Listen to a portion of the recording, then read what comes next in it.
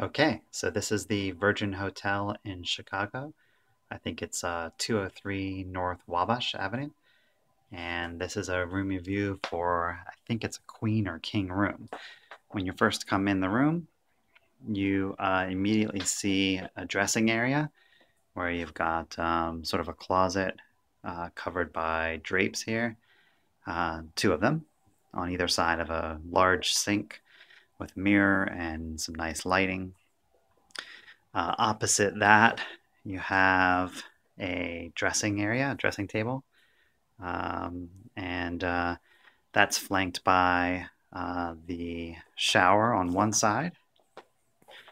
Take a look at that. Behind a big glass frosted door, frosted glass door. So it's a nice shower area. Nice tiling, of course, the virgin red touch to it.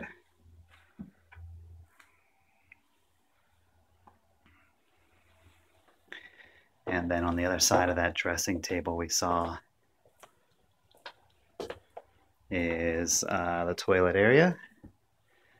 And so here behind this door is toilet. Pretty standard stuff here, but a nice separate room, all the same. Uh, Nice virgin red door, cool wood floors, a big open, kind of bright space, very airy feeling, really nice.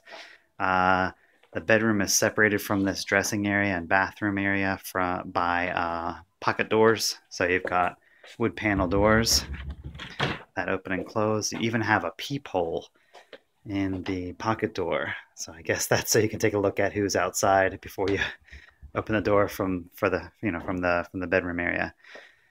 So here's the bed. It's a nice big bed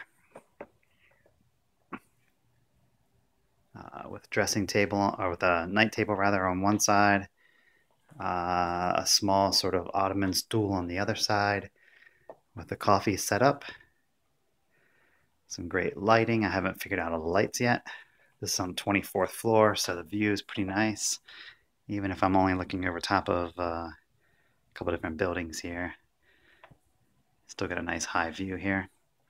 You've got a, a table desk with a JBL speaker on it. I think it's a JBL speaker. Oh no, it's some kind of uh, some kind of speaker you can plug into. Uh, a little light. The wall that the television is on is fabric sort of carpeted its fabric here. And the uh, hotel information is in a pocket on the wall. It's kind of interesting.